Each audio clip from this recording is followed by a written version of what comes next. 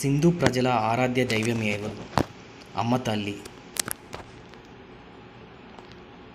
Next Sindhu ప్రజల యొక్క ముఖ్య దేవుడు ఎవరు? జవాబు పశుపతి మహాదేవుడు. సింధు ప్రజల యొక్క లిపి ఏది? జవాబు బొమ్మల లిపి ఆర్ సర్పలిపి. సింధు ప్రజల యొక్క ప్రధాన ఓడరేవు ఏది? లోతోల్. సింధు ప్రజలు ఏ యుగానికి చెందినవారు? క్యాన్సర్ యుగం. సింధు ప్రజలు పూజించే జంతువు ఏది? జవాబు ఎద్దు. సింధు ప్రజలు పూజించే పక్షి ఏది? జవాబు పావురం. సింధు ప్రజలు పూజించే చెట్టు ఏది? జవాబు రావి చెట్టు. సింధు ప్రజలకు ఏ లోహం గురించి తెలియదు? జవాబు ఇనుము. సింధు ప్రజలకు తెలియని జంతువులు ఏవి? గుర్రం సింహం. ప్రపంచంలో మొట్టమొదటి నాగరికత ఏది? Mesopotamia Iraq. ప్రపంచంలో రెండవ నాగరికత ఏది? ఈజిప్ట్ నాగరికత నైలు నది ప్రక్కన. ప్రపంచంలో మూడవ మరియు దక్షిణాసియాలో మొదటి నాగరికత ఏది? సింధు నాగరికత.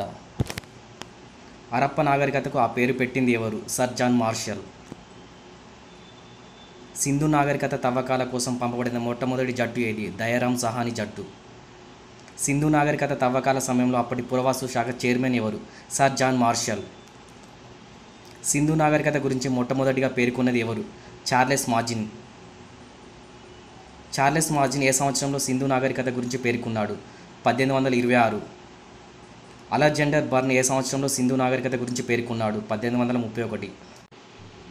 ఋగ్వేదంలో హరప్ప నాగరికత ఏ పేరుతో పేర్కొనబడింది? హరయపియా సింధు ప్రజలు వర్తకమునకు ఏ ఎడ్ల బండ్లను ఉపయోగించేవారు? ఎక్క. సింధు నాగరికత ఏ యుగానికి చెందినది? క్యాన్సర్ యుగం. నగర విప్లవం ఏ యుగంలో ప్రారంభమైనది? లోహయుగం సింధు ప్రజలు రాగి తగరాలను ఉపయోగించి ఏం చేసేవారు? కంచు.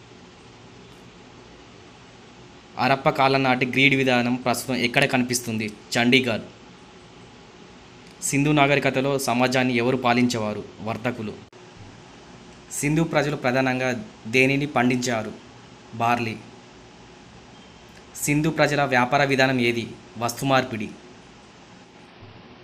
సింధు ప్రజల కొలతల విధానం నిష్పత్తి ఏంటి? One is to sixteen. Sindhu ప్రజల నగరీకరణ విధానం గీడి విధానం.